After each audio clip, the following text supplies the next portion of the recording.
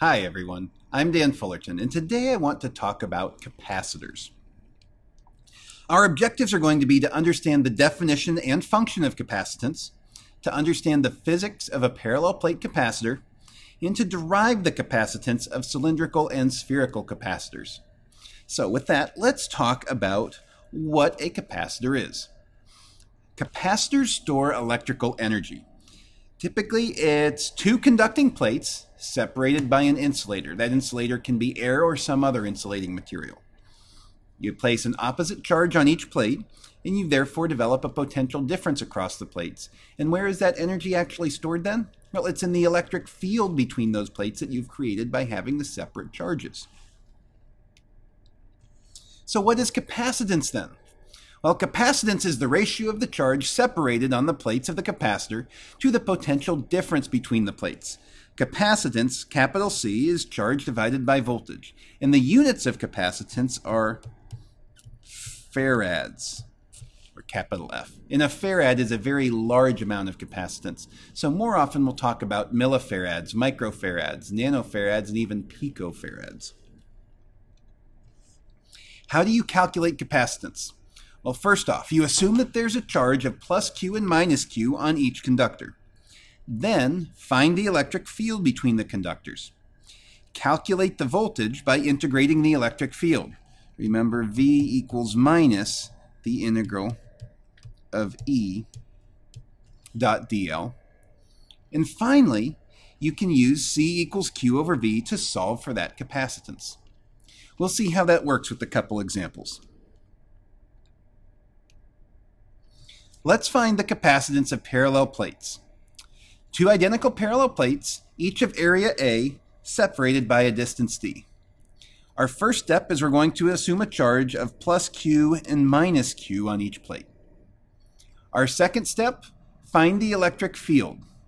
Well, the electric field due to the plane of charge is sigma over epsilon naught. So E equals sigma over epsilon naught. Step three, we said, was to find the potential. V equals minus the integral of E dot dl, which in this case is just going to be minus E, and dl will just be d. But we know that the electric field is sigma over epsilon 0. So our potential is sigma d over epsilon 0. But in this case, surface charge density, well, that's going to be the charge divided by the area. So if sigma is equal to q over a, we can then say that potential is equal to q times d over epsilon 0 a.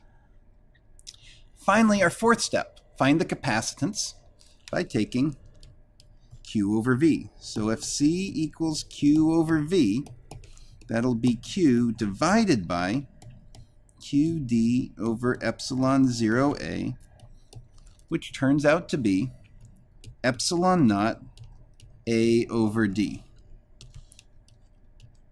C equals epsilon naught a over d, the capacitance of a parallel plate capacitor.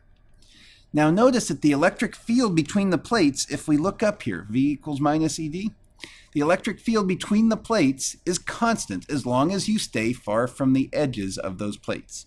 So we have a constant electric field point from positive to negative between our two plates. Let's see if we can't find the capacitance of a cylindrical capacitor. Determine the capacitance of this long, thin, hollow conducting cylinder of radius RB that surrounds a long solid conducting cylinder of radius Ra. Well, our first step again is to assume a charge of plus Q and minus Q on each plate, and then determine the electric field between the cylinders. And we can find the electric field between the cylinders using Gauss's law. The integral over the closed surface of E dot dA must be the total charge enclosed divided by epsilon 0.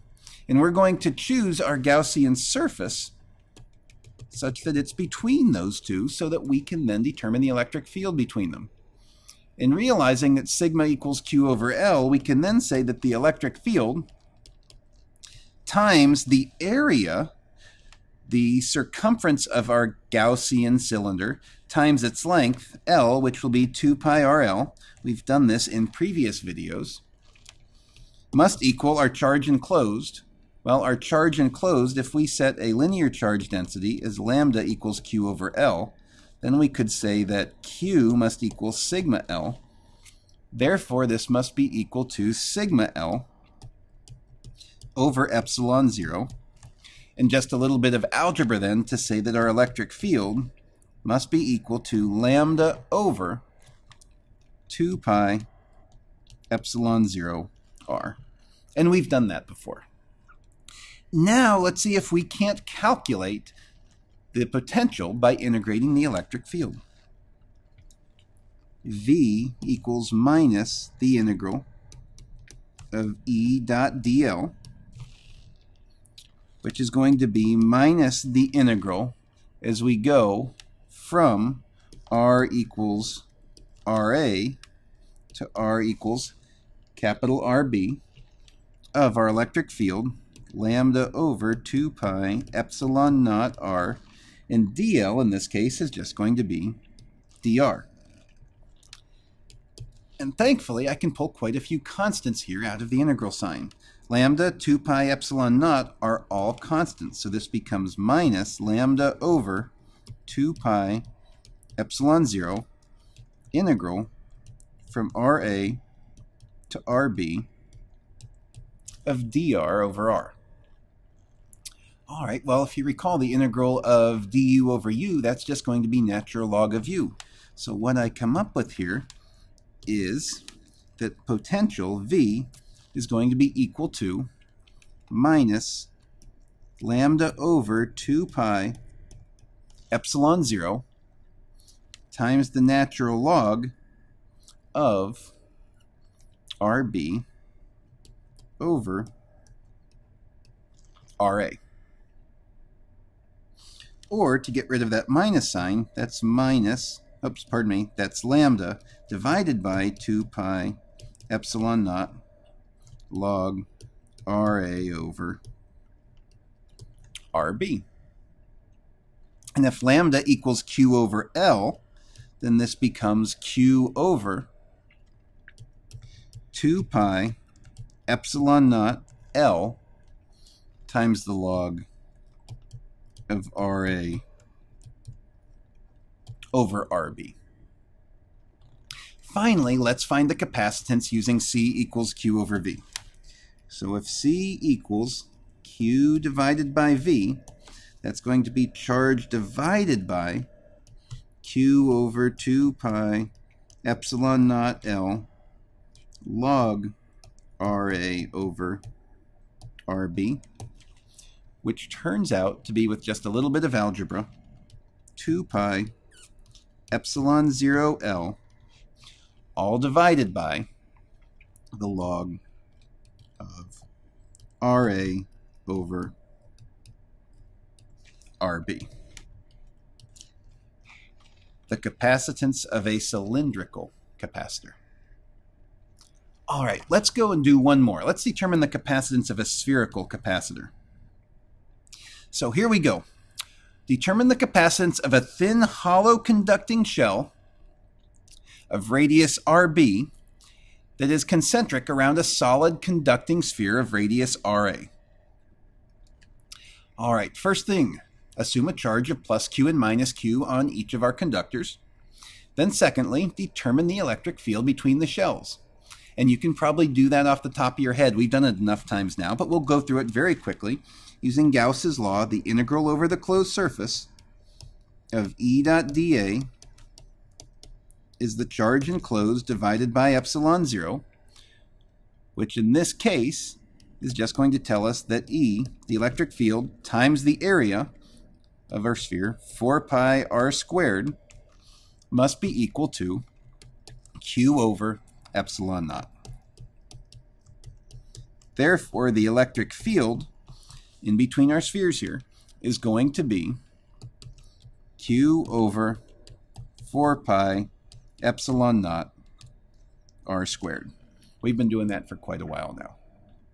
Next, calculate the potential by integrating the electric field.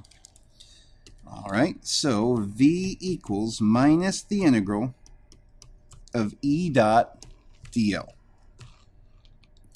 Okay, in this case, we're going to be integrating then from, that'll be RA to RB.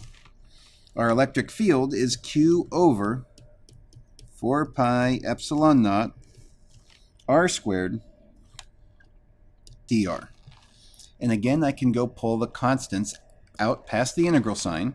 So that will be minus q over 4 pi epsilon naught integral from RA to RB of r to the negative 2 dr. Okay, integral of r to the negative 2 is just going to be minus 1 over r.